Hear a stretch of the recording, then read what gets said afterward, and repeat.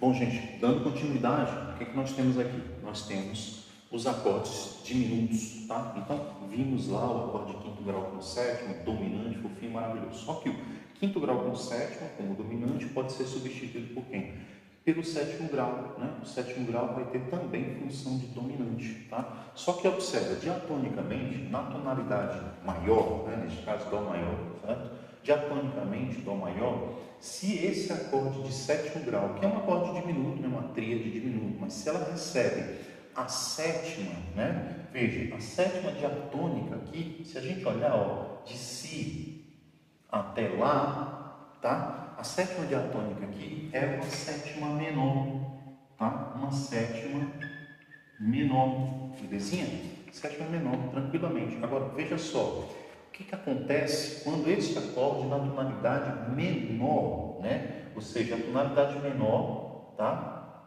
Então, Dó menor agora, ao invés de Dó maior, Dó menor, o acorde é o mesmo, certo? É o sétimo grau, o acorde é o mesmo. Entretanto, a sétima dele, né? Ao invés de ser a nota Lá, né? Lá natural, é a nota Lá bemol, tá? Nota Lá bemol. E aí o que acontece? Do Si para o Lá bemol, eu não tenho mais uma sétima menor, eu tenho o quê? Uma sétima diminuta, né? Uma sétima diminuta, certo?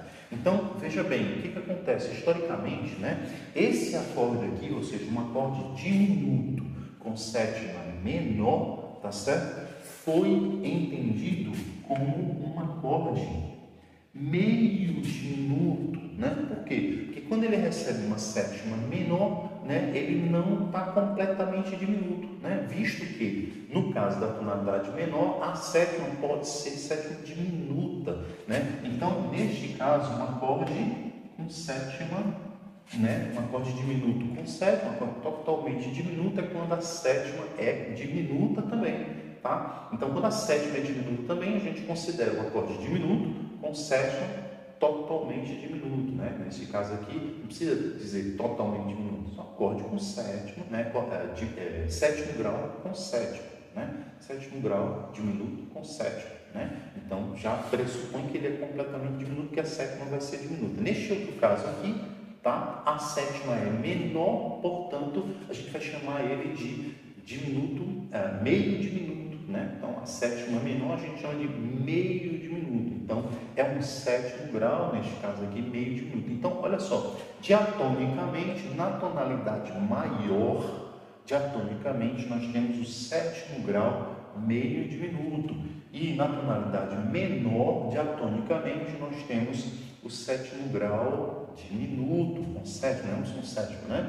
Agora, observa, se eu for aqui para a tonalidade menor, neste caso Lá menor, certo? Se eu for aqui para a tonalidade menor, e eu já não tenho mais o sétimo grau, eu tenho o segundo grau, tá certo? O segundo grau, tá? E aí observa que esse acorde, obviamente, ele é igual a este, né? Visto que a armadura é igual, tá? Armadura igual, tá? Então este acorde é o mesmo daquele, tá?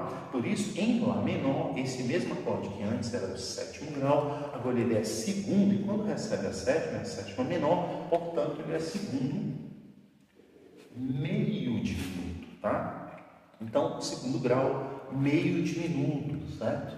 Meio diminuto porque a sétima é menor. Agora, observe o seguinte: quando a sétima é menor, claro, todo acorde diminuto possui um trítono dentro, né? Todo acorde diminuto tem um, um trítono ali, né? Beleza, que é justamente a fundamental e a quinta, né? Beleza.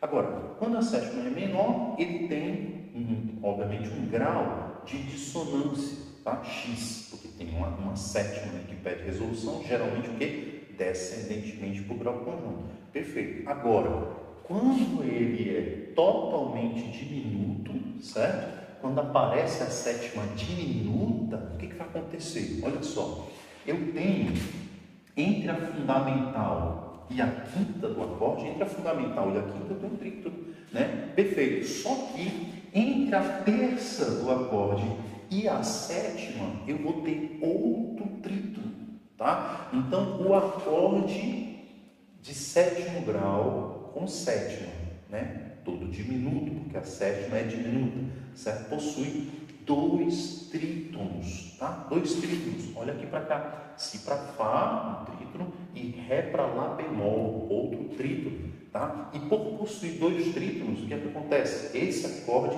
tem um grau de dissonância maior. Né? O acorde de sétimo grau com sétimo todo diminuto tem um grau de dissonância maior do que o sétimo grau meio diminuto. Tá? Meio diminuto.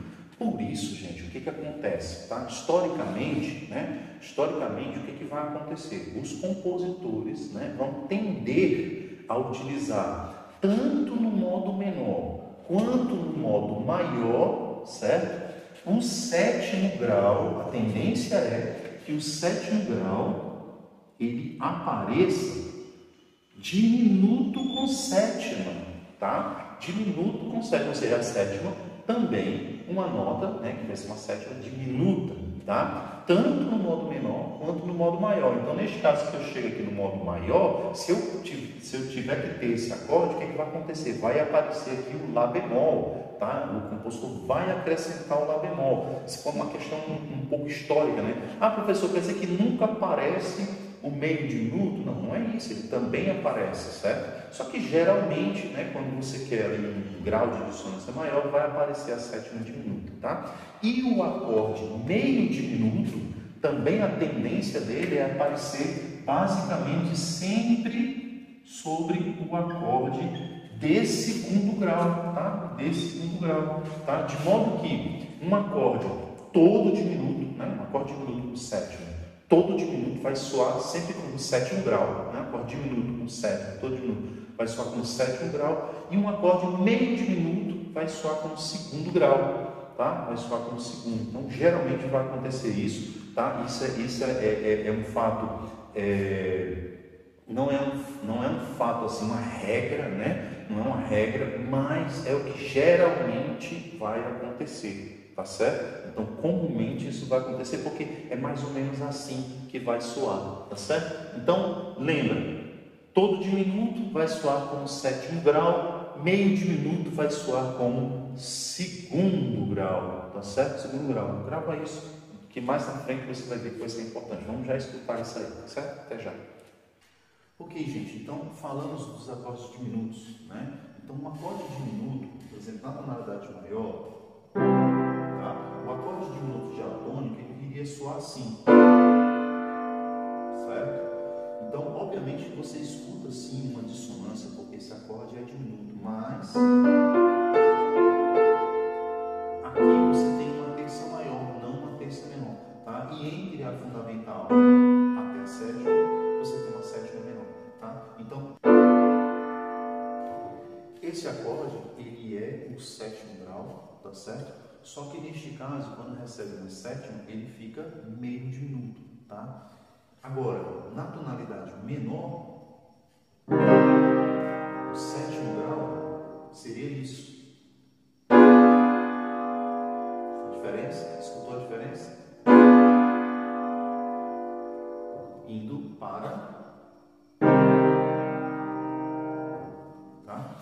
É, então, o diminuto e o meio diminuto, eles acabam tendo é, sentidos diferentes. Por isso, o meio diminuto acaba sendo foi, foi historicamente utilizado no segundo grau e o diminuto no sétimo grau.